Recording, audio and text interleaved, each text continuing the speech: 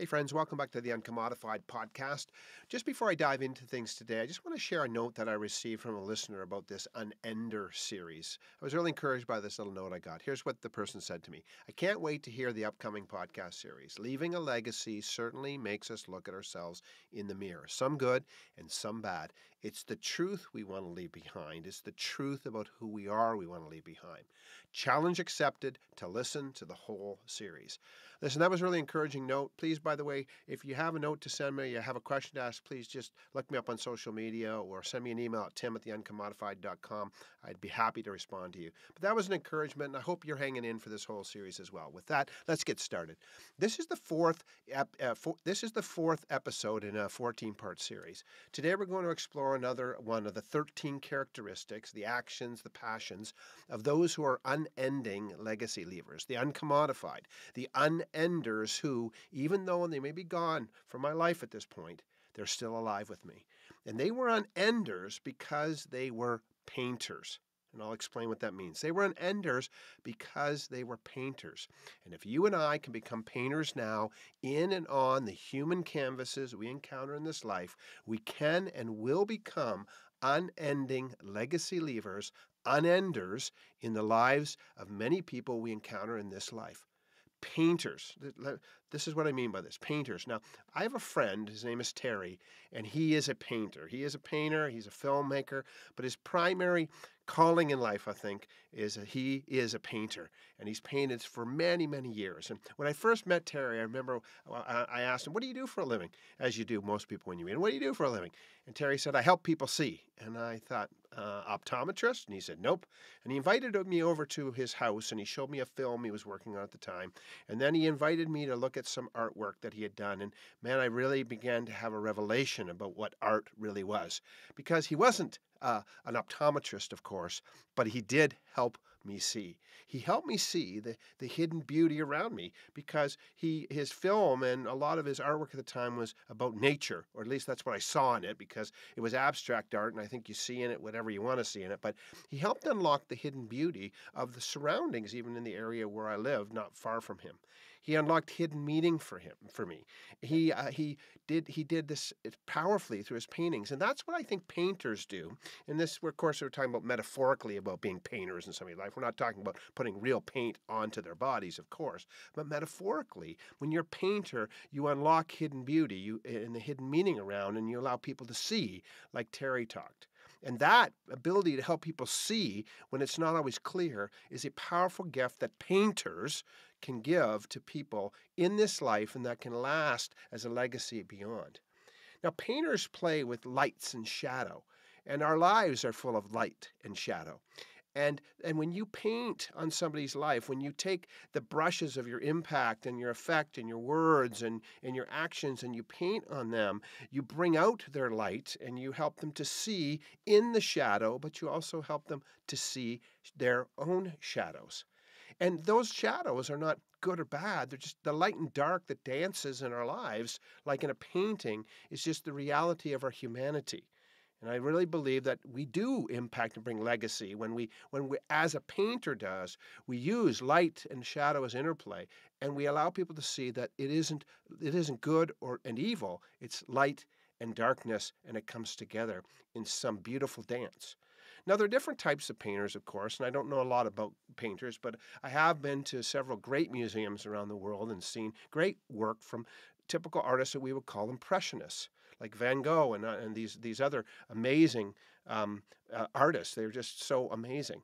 Now, an impressionist, they make they make this impressionistic mark where they put their own mark on it, and it doesn't look quite like reality. There's an impression of what they see, but they don't just do it to impress.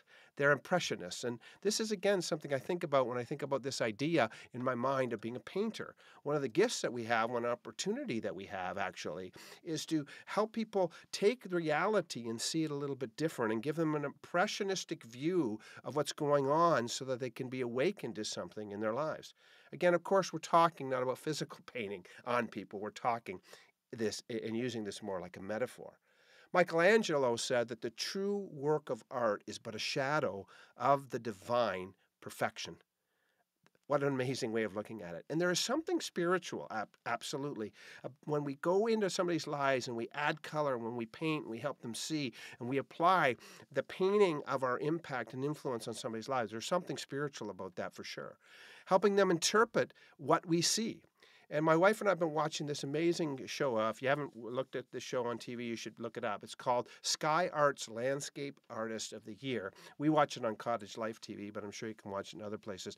But it's amazing how people can look at the same thing and interpreting what they see, they can they can actually paint something totally different. And this is a gift I think what painters have as well. The gift that somebody has who's going to leave a legacy as a painter on somebody is their ability to interpret what they see and maybe interpret it differently than the person sees in their own life. That's the gift that the painter brings. When you look at your life sometimes and you don't see great things or you see muted colors, a painter can come and reframe that painting and help you to see it differently. And we'll talk about reframing in a little bit because that's a big, big, big part of it. But they can paint it from a different angle or from a different different perspective and actually unlock your ability to see your life and to see what's going on in a different way. And it's impactful for sure, and it leaves a lasting mark. Absolutely. Albert Einstein said, Imagination is more important than knowledge. And this is the gift that painters bring to the people around them. Not just knowledge or information, but they bring imagination to their ability to envision something in an impressionistic way or in a different way, and looking at it at that different angle, as I said. And so, again, as a painter on somebody's life, you have the ability to paint in a way that releases not inf- just information, but imagination. And this is one of the powerful things that we get to do as we paint on the, uh, uh, on the life of someone else around us. Ultimately, we get to reinterpret what we see with a new lens. And as we do that, we can see it in a different way. Something that was good, we can see as great. Something that was bad, we can see may possibly as good.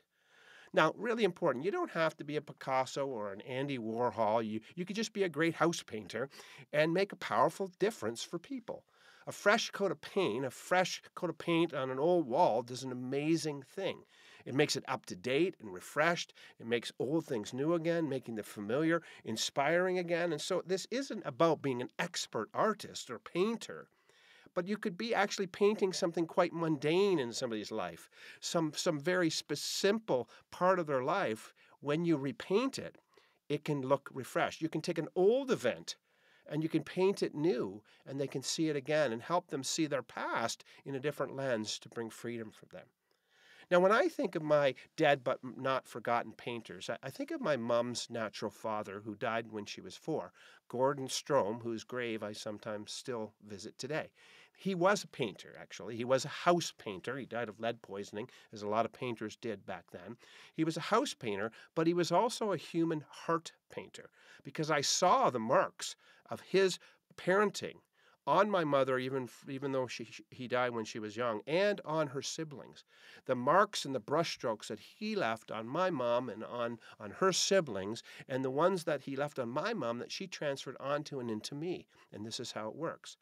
I also think of my papa, whose old pipe I sometimes smoke and whose grave I visit, but I need to be, get there because I haven't been there in a while. But he wasn't a real painter, but he was a furniture maker. And but he painted on me. He added color and vibrancy to my life, that's for sure, particularly when I was younger and I needed to, to crawl out of uh, a season of maybe gloom in my life. I remember my, my papa had an uncanny way of cracking a joke or saying something in German that was funny to him and I didn't even understand until later on. And he painted just a refreshing color and vibrancy in my life and, and just sort of joy when I wasn't doing well. And that is one of the gifts that painters bring, is that when it is gloomy in the picture that a person is seeing, a painter can paint something that brings joy into the midst, midst of that. Of course, I talked about earlier, just mentioned, you know, this idea of framing and reframing. And this is one of the things that Terry talked to me about over the years, that the importance uh, that a frame plays on artwork. And I didn't really know this because it, it's not, I'm not an artist, I'm not a painter. But he talked about the importance of, uh, of selecting the right frame to frame the work and give a frame of reference, but also how the beauty of the frame actually adds to the picture you're painting. And this reminds me that one of the greatest gifts that painters can give to you in your life, one of the greatest gifts that you can give as you uh, become a painter on the lives of someone else around you, is not just the picture you paint, but the frame or the frame of reference that you give. Painters have amazing power to reframe events, as I mentioned earlier. And they can reframe it or frame it in such a way that you can see it differently, you can look at it differently, and all of a sudden you notice something different. Now, of course, this is a wonderful gift in life, but it's also one that gives impact and legacy. I'll go back to my, my papa for a second. There are times where my papa reframed events in my life as a child. I can remember this, and I look them, looked at them differently because of that, and I look at them differently yet even today because of how he did that. Aristotle said this. He said the aim of art is to represent not the outward appearance of things, but their inward significance. And that's where the power of reframing comes in for these painters. Not just painters, but framers. They can frame something amazing and they not just the outward appearance or the outward significance, but they can frame it in such a way that you see the inward significance of an event or an opportunity. And I would just encourage you as you paint on the lives of people, this is one way you can do it. When you splash some colors, then you actually bring out the inward significance of the moment, of something that's happening, of something that seems mundane, but is actually quite significant. This is where you're really, really using the crafty art of a painter for the benefit of others, and it will be remembered. Absolutely, that is for sure. Painters bring that different perspective. They bring a different perspective and they bring an opportunity, as Michelangelo said. He said, "Look, when you when a sculptor, when you sculpt, you make you do you take away things to make it, but a painter makes it by adding. Painters are adders. They're adding and they're multiplying great things into the lives of other people. Again, they're adding some color here and some some some shadows here and some perspective here and then framing it in such a way that you can be energized and encouraged by something you wouldn't have seen that is the gift they bring.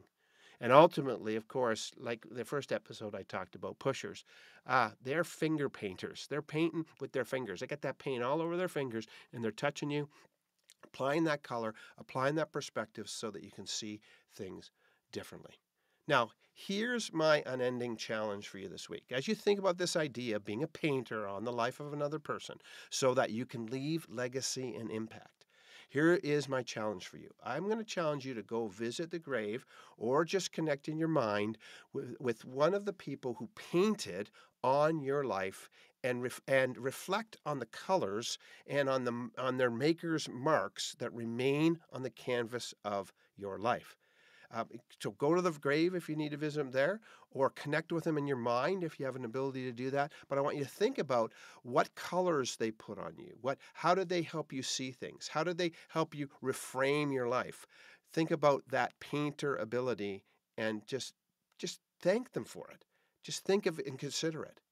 Now, if they're still alive, if that painter is still alive, then, then write them a thank you letter, an email, or call them. Call that present day painter and let them know how they have, how they are, and how they will continue to help you see the hidden beauty of yourself and others and how they have and how they are and how they will continue to help you, again, frame and reframe your life's events. Because at times, that's what that painter has done for you.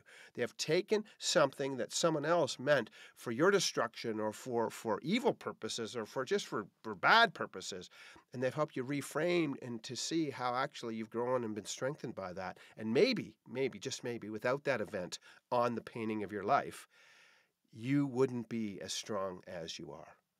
Now, another challenge here is go out and find someone to add a little color to this week. Bring some new perspective to. Help them see a new perspective on the narrative or the story of their circumstances. Help them see their story, the painting that's happening in their lives, and paint something new or different in there for them. Uh, something new, a new possibility, a new hope, something. Paint it into their picture so they can see it and begin to build faith and belief for it. Help them see the importance also of their dark and their light, of their shadow and of the shadow that ha- that interplays in their life, and how all of this sort of gets mixed up on the palette of our lives and makes something wonderful. Unenders are painters. And if you and I can become painters now in and on the human canvases we encounter in this life, we can and will become unending legacy leavers, unenders in the lives of many people we encounter in this life. Thanks for listening, and never forget you're not getting out of here alive, and neither am I, but your impact will outlast and outlive you, and your reputation will as well. Have a great day.